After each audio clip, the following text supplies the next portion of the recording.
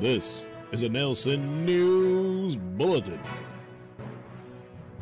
Woman intentionally kicked pregnant woman in the abdomen during fight over a slice of pizza. Hello, I'm Mr. Nailsin. A woman targeted a pregnant woman's unborn child by kicking her in the abdomen multiple times during a fight over food, according to police in Florida.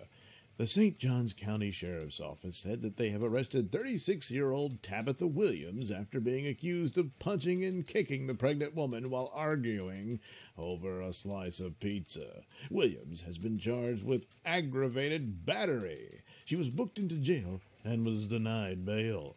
According to the police investigation, Williams and the victim, who is two months pregnant, live on Dairy Avenue. One of the women ordered pizza and when the food arrived, they began arguing over a slice of pizza. Williams punched the pregnant woman. When the pregnant woman fell to the ground, Williams kicked her in the abdomen multiple times. Police officers who arrived at the scene noticed that Williams was intoxicated. During questioning, Williams admitted that she knew the victim was pregnant and she intentionally kicked her in the abdomen to harm the unborn child. Williams also claimed that the victim jumped her, so she fought back.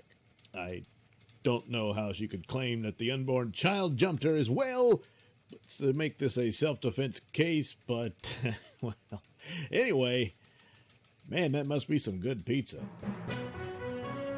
This has been a Nailsin News Bulletin.